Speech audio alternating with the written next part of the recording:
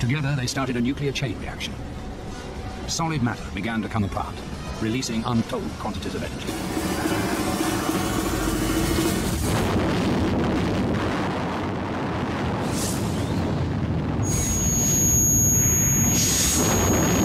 мною принято решение о проведении специальной военной операции. Bismillahirrahmanirrahim. Assalamualaikum warahmatullahi wabarakatuh. Nah, perkenalkan nama gua Herli Fardila. Nah, sesuai thumbnail yang kalian klik ini, teman-teman, ya kemungkinan teman-teman itu tertarik untuk mengkaji tentang kenapa perperangan itu bisa terjadi. Dan kenapa manusia itu tega menindas satu dengan yang lainnya. Dan kenapa satu kelompok dengan tega-teganya membunuh kelompok satu dengan kelompok yang lainnya.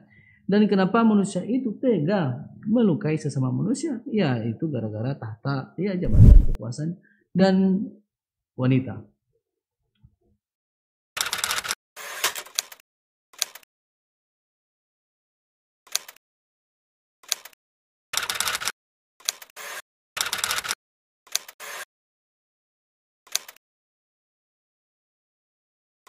Yang gue tangkap selama ini adalah memang fitrah manusia itu berbeda-beda Pak. Allah menganugerahkan kepada seseorang itu ya dengan perbedaannya.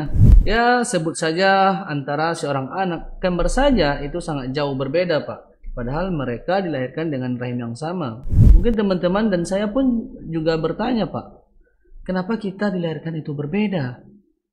Dan kenapa perbedaan itu malah menjadikan suatu konflik yang sangat berbahaya? Memang dari masa ke masa manusia itu dihantui dan diwarisi sifat peperangan yang bisa kita bilang dari masa manusia pertama di bumi hingga sampai sekarang. Nah, jika kita tarik ke belakang, pada riwayat Ibnu Kasir, perseteruan ini antara Nabi Adam dengan imamnya para malaikat pada itu coy. Yang kita sama-sama tahu adalah malaikat ini bernama Azazil. Nah, Awalnya itu iblis diciptakan sebagai salah satu makhluk Allah yang sangat mulia. Nama aslinya adalah Al-Harij. Dia dinamakan demikian lantaran iblis ini pernah menjadi penjaga surga coy.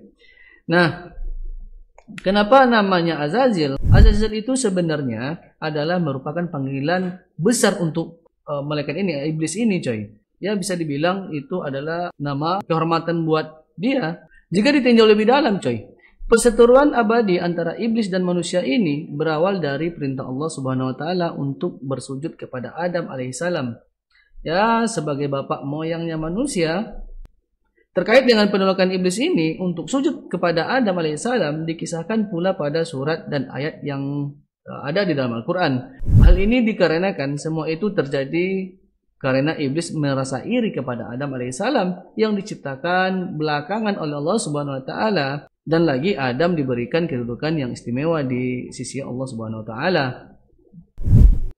Dan sayangnya Azazil pada waktu itu tidak mengetahui apa sih keistimewaan yang tersembunyi dari um, manusia ini dan Adam ini. Dan karena kebodohannya lah iblis itu tidak mengetahui apa yang sebenar yang terjadi dalam diri uh, si Adam ini, teman-teman. Nah, kita lanjutkan. Karena kebodohan dan ketidaktahuan iblis inilah dia dilaknat oleh Allah Subhanahu wa taala dan kutuk teman-teman. Nah, asal uh, lu tahu ya, lu gua dan kita ini adalah manusia paling sempurna. Nah, dan fenomenanya sekarang ya isu-isu internasional itu kita digiring untuk uh, bahwasanya alien itu lebih sempurna daripada manusia. Ada sosok alien yang mungkin uh, lebih cerdas daripada manusia. Nah, gua nggak kebayang pak. Ada artikel para kreator video yang bilang alien itu sangat super duper cerdasnya. Secara tidak langsung, lu membantah dari dalil Al-Quran, Pak. Dan bagi umat Islam, ada makhluk lain yang lebih sempurna daripada manusia, sama aja lu ngebantah Al-Quran, coy. Sedangkan lu tahu sendiri, sejatinya Al-Quran itu adalah kalam Allah. Yang maha suci Allah. Yang terjamin kebenarannya. Ya, saran gua, uh, jangan lu uh, telah mentah-mentah lah. Uh, propaganda ataupun konspirasi yang ada di balik Eh, cerita-cerita yang ada uh, yang beredar di dunia sosial media. Ya paling enggaknya lu cari tahu informasinya dan lu banding dan compare dengan Al-Qur'an yang sejatinya yang kita yakini ini, Pak. Apakah bertentangan? Ya kalau kalau seandainya bertentangan ya sudah tinggalkan saja. Kita kembali ke menyelam lebih dalam lagi, coy. Pada penciptaan Adam ini, seluruh makhluk Allah yang diciptakan semuanya hadir, Pak. Oleh karena itu, meski dihadiri golongan lain yang bukan dari golongan malaikat, yaitu iblis dan makhluk-makhluk yang lain, ayat tersebut secara bahasa memerintahkan semua golongan termasuk iblis untuk sujud kepada Nabi Adam. Ya bisa kita katakan bahwasanya dari golongan malaikatlah yang paling banyak hadir Pak. Namun sejarahnya itu iblis tidak terima karena bukan termasuk golongan yang diperintahkan untuk melakukannya. Karena ia bukan dari golongan atau salah satu dari malaikat tersebut Pak. Iblis menggunakan analogi yang rasional untuk melawan perintah Allah Subhanahu wa taala dan dia menganggap perintah sujudnya kepada Nabi Adam adalah tidak adil. Dan juga ia beranggapan bahwa Azazil itu tidak mau sujud kepada Adam dikarenakan tidak mau tauhidnya luntur kepada Allah Ta'ala Pak. Karena berhubungan dengan kontennya tauhid ini tidak mau sujud kepada Adam. Uh, uh, tapi pernyataan ini dibantah oleh para ulama dan Habib Rizik dalam ceramahnya Pak. Nah seperti video berikut ini. Padahal, saudara, iblis ini merasa seolah-olah dia nggak sujud kepada Adam, itu merupakan kemurnian tauhid. Waduh. Kadang-kadang ada juga penceramah bilang, iblis itu tauhidnya sempurna, nggak mau sujud kepada manusia. Waduh. Saudara, iblis nggak mau sujud kepada Adam bukan tauhidnya sempurna, karena sombong. Nah, terlepas dari kontroversialnya, tauhid tidak tauhidnya, ataupun isu-isu yang beredar di masyarakat, sombong atau tidak sombongnya iblis, yang pastinya Azazil ataupun setan melihat dirinya lebih baik daripada Nabi Adam karena ia diciptakan dari api, Pak. Sedangkan Nabi Adam dari tanah. Itu yang digambarkan dalam Al-Qur'an. Sebenarnya kalau tab, uh, kalau dikaji tafsir lebih dalam, Pak, ini sangat dalam sekali maknanya. Ini dugaan saya saja. Karena dia uh, telah melakukan track record untuk berzikir kepada Allah, beramal kepada Allah yang sangat banyak sekali. Karena sebelumnya dia telah diangkat menjadi imamnya para malaikat Pak. Berarti dia menganggap bahwasanya api itu lebih mulia daripada cahaya. Ya di situlah uh, kesombongan iblis itu dimulai cuy. Dari sifat-sifatnya di sini kita bisa saling mengingatkan aja coy bahwa kita tidak boleh untuk merasa lebih hebat, merasa lebih berilmu, merasa lebih punya power dan merasa lebih lebih lebih lebih daripada orang lain. Ya, saran gua kita itu harus menjaganya, Pak. Dan tidak sampai di situ. Iblis juga berargumen dalam surat Al-Isra ayat 62. Ia iblis berkata, Terangkanlah kepadaku, inikah yang lebih engkau muliakan daripada aku? Sekiranya engkau memberi waktu kepadaku sampai hari kiamat, pasti akan aku sesatkan keturunannya kecuali sebagian kecilnya. Uh, dari tafsir yang gua pahami, coy. Si iblis ini mau membuktikan bahwasanya api itu tetap lebih mulia daripada tanah. Dan singkat cerita, permusuhan iblis terhadap Adam dan seluruh keturunannya dimulai dari sini, Pak.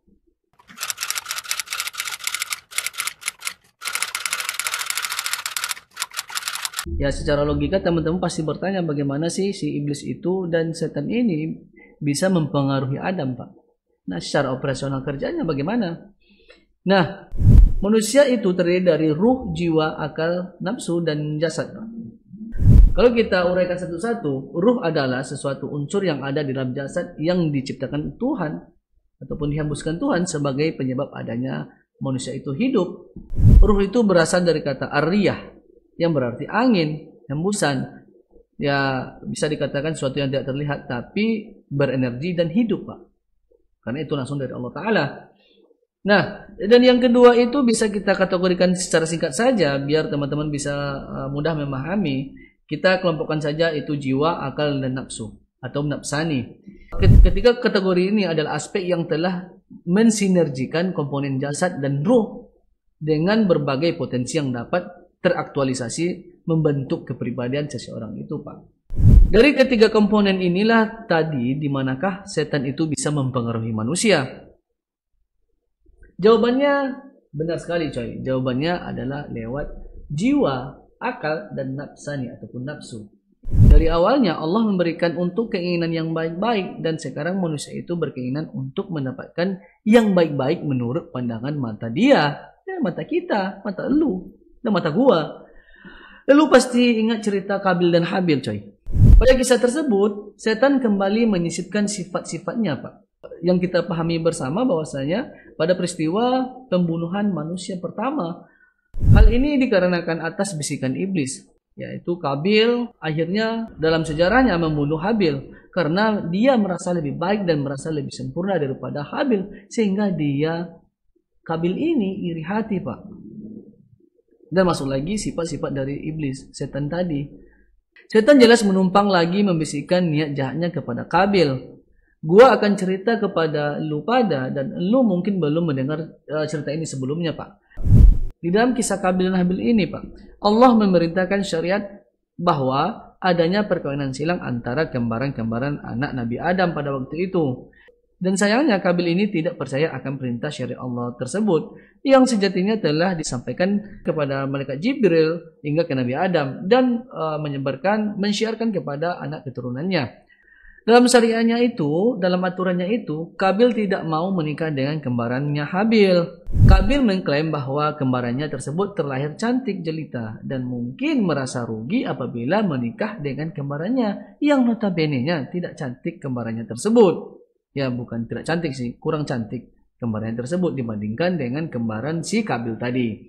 Dalam Asalabi mengatakan bahwasanya Kabil Habil ini diberi pekerjaan pada awalnya Pak. Telah dibagi sesuai dengan uh, kemampuan dan kriterianya masing-masing. Nah, Kabil itu diberi dan mengurusi pertanian pada waktu itu, sedangkan Habil diberi amanah urusan peternakan ataupun domba. Karena ada permasalahan ini, Pak, Nabi Adam berdoa dan sekaligus mendapat wahyu untuk menyelesaikan pertikaian mereka ini. Setelah mendapat perintah dari Allah Ta'ala, Nabi Adam menjelaskan kepada anaknya itu bahwa semua urusan permasalahan mereka itu diserahkan kepada Allah Ta'ala dengan syariat pada waktu itu menyerahkan hasil pendapatan pekerjaan mereka untuk dikorbankan kepada Allah Ta'ala. Nah pada kisahnya Kabil Habil ini uh, sepakat dan menerima perintah dari Nabi Adam tersebut teman-teman. Nah Kabil Habil ini segera menuju sebuah perbukitan menyerahkan semua kurbannya tersebut teman-teman. Kabil dan Habil ini diam dan menunggu apa yang akan terjadi kepada mereka. Ya tidak lama kemudian dari langit turun awan putih Awan putih tersebut mendekati kurban dari Kabil, tetapi kemudian berpaling darinya. Lalu ia condong kepada kurban dari saudaranya Habil. Ya, selanjutnya awan itu mengambil kurban Habil, lalu naik membawa ke langit. Pada waktu itu Kabil berkata kepada saudaranya Habil, Seandainya engkau mengambil iklima, pasti aku akan membunuhmu. Katanya itu, aku tidak akan meninggalkan saudara perempuan kandungku yang cantik ini, dan aku tidak akan mengambil saudara perempuan sekandungmu yang jelek itu. Kabil berniat membunuh Habil, tetapi dia masih bingung bagaimana cara membunuhnya. Dan untuk kedua kalinya, si iblis terlantar ini datang kepadanya dalam bentuk salah seorang saudaranya. Kemudian dia mengambil dua buah batu dari tanah dan memukulkan yang satu kepada yang lainnya. Akibatnya, Pak, batu itu terbelah dua, Pak. Kabil melihatnya seraya berkata, Mengapa tidak aku praktekkan hal itu kepada Habil? Sampailah ketika waktunya tiba. Kabil pergi mendatangi Habil dan dia mendapatinya sedang tidur di bawah sebuah gunung, Pak. Kemudian Kabil mengambil sebuah batu. Dia bawa batu itu dan kemudian dilemparkan kepada saudaranya. Batu tersebut mengenai Habil, Pak, dan membuat seketika mati terbunuh. Asalabi mengatakan bahwasanya setelah Habil terbunuh, bumi bergetar, berguncang, Pak. Dikabarkan guncangan bumi itu adalah guncangan pertama yang terjadi di muka bumi ini. Asalabi mengatakan bahwasanya bumi itu berguncang sebanyak tujuh kali. Sehingga tujuh hari sejak terbunuhnya Habil, pada saat itu terjadi gerhana matahari. Itulah gerhana matahari pertama yang terjadi di dunia ini, Pak. Asalabi menambahkan, setelah Habil terbunuh dan beberapa jenis pohon tumbuh duri, rasa buah-buahan berubah dan rasa air ada yang menjadi asin. Ketika itu Adam berada di tanah Hindi. Dia tidak mengetahui anaknya tercinta ini Habil terbunuh. Dari Ibnu Abbas radhiyallahu anhum mengatakan bahwasanya setelah Kabil membunuh saudaranya Habil di Gunung Kasian, secara ajaib bumi menelan darahnya, Pak. Kemudian Allah bertanya kepada Kabil. Kemudian Allah bertanya kepada Kabil, "Di manakah saudaramu?" Kabil menjawab, "Pak, pada waktu itu saya tidak tahu. Maka Allah berfirman kepadanya, Sesungguhnya darah saudaramu mengatakan dari bumi bahwa engkau telah membunuhnya. Kabil bertanya, Wahai Tuhanku, di mana darahnya? Maka sejak itu Allah mengharamkan bumi untuk menyerap semua jenis darah. Nah kita kembali ke Adam tadi coy. Pada waktu yang bersamaan, Adam juga merasakan kesumpekan dalam dadanya, kesempitan dalam dadanya coy. Dia pergi ke tanah tersebut untuk mengetahui apa yang ter sebenarnya telah terjadi di sana. Setelah sampai ke tempat anak-anaknya itu, dia tahu bahwa anak-anaknya Habil telah terbunuh. Selanjutnya Kabil mengambil domba-domba Habil dan menikah dengan Iklima. Ketika Adam datang kepadanya, dia kabur. Kemudian dia pindah ke tempat lain karena takut kepada ayahnya tersebut, yaitu Nabi Adam. Dari riwayat Ibnu Abbas radhiyallahu anhum mengatakan bahwasanya setelah Adam merasa yakin anaknya telah terbunuh, dia menangis pak, menangis sekeras mungkin, sedalam mungkin. Ya begitu juga dengan ibunda Hawa, itu juga sangat bersedih atas kejadian tersebut. Bunda Hawa setelah mendapat berita kejadian itu, dia berteriak pak. Dan tahun itu menjadi tahun musibah bagi anak-anak mereka. Dari cerita ini, lagi-lagi lagi-lagi iblis yang berperan aktif untuk menghasut Kabil ini, Pak. Secara struktur dan operasionalnya, Perjalanan setan ini masuk kepada Kabil itu menumpangi jiwa kita, Pak. Jiwa kita itu ditumpangi oleh setan atau iblis sehingga akal yang fungsinya adalah alat timbangan hanya cenderung untuk yang baik-baik bagi dirinya tanpa memperdulikan makhluk lain dan diimplementasikan oleh nafsu buruk yang sebagai eksekutornya, Pak. Ya bisa dikatakan bahwasanya setan itu memang bertempat tinggalnya di darah karena darah itu bersifat panas dan api. Melalui api inilah amarah itu keluar. Dan jasad ini langsung mengeksekusinya, Pak. Dan di situ mulai awalnya konflik antar individu anak manusia.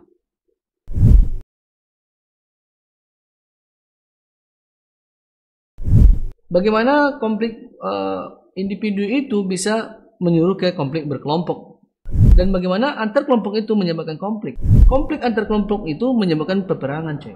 Kalau kita uh, tinjau dari sikap behavior manusia, ya kebiasaan manusia itu adalah hidup berkelompok, coy. Ya tentunya dimulai dari uh, Kabil tadi yang kawin lari dengan Iklima. Secara basicnya memang manusia itu memang hidup berkelompok, coy. Tidak bisa hidup individu. Ya dimulai dari uh, pergolongan individu ya sehingga menjadi beberapa beberapa kelompok dan menjadi beberapa koloni hingga menjadi beberapa negara. Nah, di dalam kelompok tersebut menetapkan ya sebuah uh, regulasi bersama untuk mencapai keinginan bersama sehingga keinginan lagi-lagi keinginan sehingga keinginan bersama ini melahirkan suatu aturan dalam sebuah sistem mereka itu sendiri. Nah, bisa saja mengatur antar individu, mengatur antar uh, masalah perdagangan, barteran, mengatur masalah ekonomi, mas mengatur uh, masalah politik, dan mengatur uh, secara hukum. Ya tentunya disepakati secara bersama. Secara perkembangannya, pandangan kelompok ini ya sangat berbeda-beda, coy. Sesuai dengan kultur dan budaya masing-masing. Ya, tentunya karena perbedaan kelompok inilah yang menyebabkan pertikaian antar kelompok satu dengan yang lainnya karena mempunyai keinginan masing-masing. Nah, dari peran uh, perkelompok ini, coy, di situlah lagi-lagi setan untuk menumpangnya, Pak. Menumpang dengan rasa ingin memiliki dan enggan menerima perbedaan dan cenderung untuk mementingkan kepentingan pribadinya dalam menguasai ataupun mementingkan kepentingan kelompoknya dalam menguasai kelompok lainnya, Pak. Nah itu urusan harta, urusan tahta, urusan wanita, dan urusan uh, lainnya. Dan mulai dari sinilah peperangan itu terjadi Pak. Karena per, uh, karena perselisihan antar kelompok dan rasa ingin yang tidak terkontrol dalam kelompok tersebut. Yang akhirnya uh, mengambil hak kelompok lain. Dan secara tidak langsung manusia itu mengabaikan suaranya Tuhan Pak.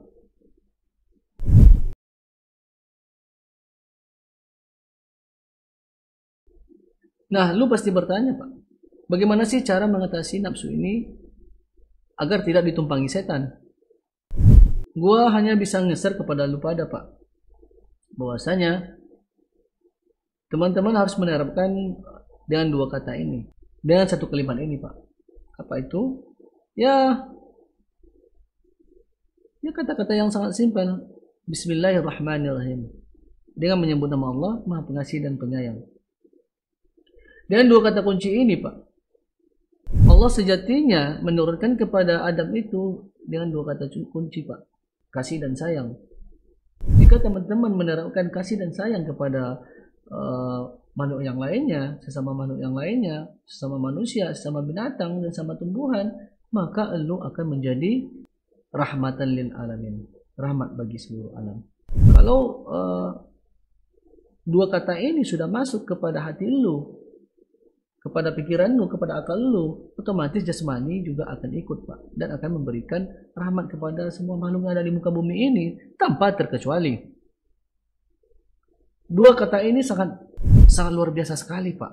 Dan itu dua kata ini menjadi aktivitas kita dalam hidup ini.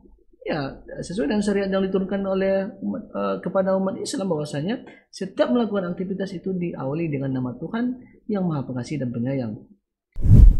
Kalau seandainya manusia itu menerapkan dua kata-kata ini, Pak, mulai dari individu yang terjadi gejolak dalam hatinya, ya peperangan dalam hatinya terlebih dahulu antara kasih dan sayang ini melawan sifat dari setan tersebut dari seorang individu, maka akan diimplementasikan kepada kelompoknya Pak. Kalau seandainya kelompok ini mengetahui semuanya menerapkan kasih dan sayang tersebut, maka akan terjadi kedamaian Pak terhadap kelompok yang lain. Dan begitulah seterusnya. Dari satu kelompok ke kelompok yang besar, sama-sama rahmatan lil alamin. Itu secara singkatnya Pak. Nah demikian konten kita kali ini. Wabillahi taufiq Assalamualaikum warahmatullahi wabarakatuh.